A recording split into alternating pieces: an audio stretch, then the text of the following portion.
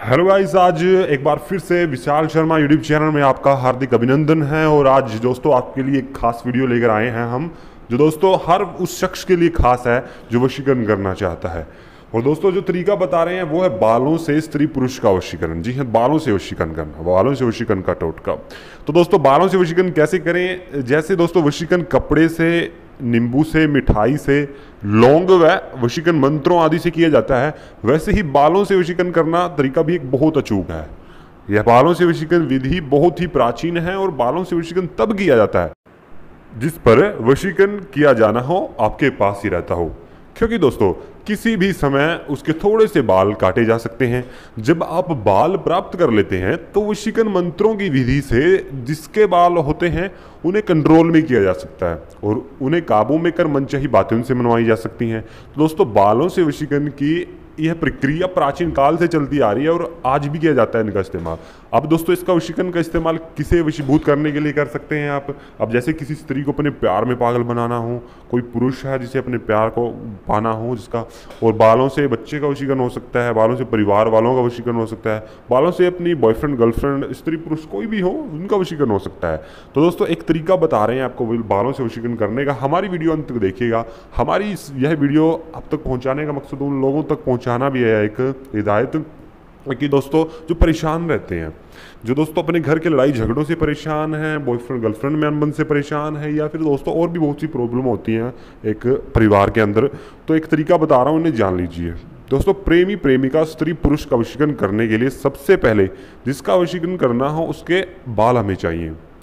जिस किसी महिला, पुरुष, प्रेमी, प्रेमिका का वशीकरण करना है, उनके बाल लें और बाल, दोस्तों, ध्यान रहे वशीकरण मंत्र जो आप दोस्तों हमारी इस वीडियो में जान सकते हैं, उसका इस्तेमाल करना होता है। और दोस्तों सबसे पहले उन्हें बाल को लेने के पश्चात रात्रि को ठीक 12 बजे के बाद, अमावस्या रात्रि को बालों को मंत्र के साथ पढ़ते हुए जला देना है। जले हुए बालों को अपने पैरों के नीचे अपने पूरी तरह से मसल देना, रौंद देना है। इसके बाद स्त्री पुरुष प्रेमी प्रेमिका आपके वश में हो जाते हैं। इस काम में ध्यान रखना होगा कि जब जले हुए बाल आँखों में या मुँह में ना जाएँ, नहीं तो सारी प्रक्रिया असफल हो साबित हो सकती है आपके लिए और इसका आपका भी नुकसान हो सकता है। क्योंकि इस दौरान तेज एनर्जी निकलती है दोस्तों। तो ये वशीकरण क्रिया जब भी अपना रहे हो आप तो ध्यान रहे, जो तो बाल जलाएँगे तो मंत्र जो बोलना होता है आपको, वो मंत्र मैं बता रहा हूँ, ध्यानपूर्वक देख लीजिएगा, सुन लीजिएगा। ये मंत्र है, ओम रुद्र मोहिनी कर अमूक कुरु कुरु वश्यम वश्यम स्वाहा।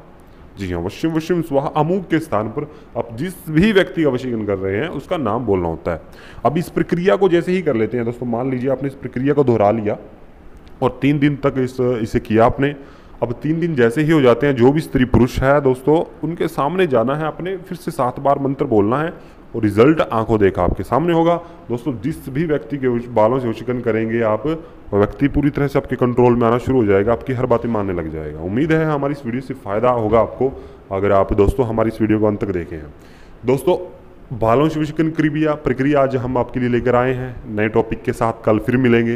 एक नई उम्मीद के साथ अगर आप हमें बताना चाहते हैं कि हम इस टॉपिक पर वीडियो आपके लिए लेकर आएँ तो आप सिर्फ़ इतना कार्य करें कि हमें कमेंट बॉक्स में कमेंट करें, बताएँ कि मेरी गुरुजी ये समस्या है और इस समस्या पर वीडियो बनाई जाए तो हम ज़रूर आपकी समस्या पर हल निकाल कर लेकर आएँगे दोस्तों। तो उम्मीद है वीडियो आपको पसंद आई होगी। तो दोस्तों, मिलते हैं नए टॉपिक के साथ। कोई भी जानकारी चाहिए आप दिए नंबर पर कॉल कर सकते हैं। वीडियो को लाइक कीजिए शेयर कीजिए चैनल सब्सक्राइब करना बिल्कुल ना भूलिएगा। धन्यवाद।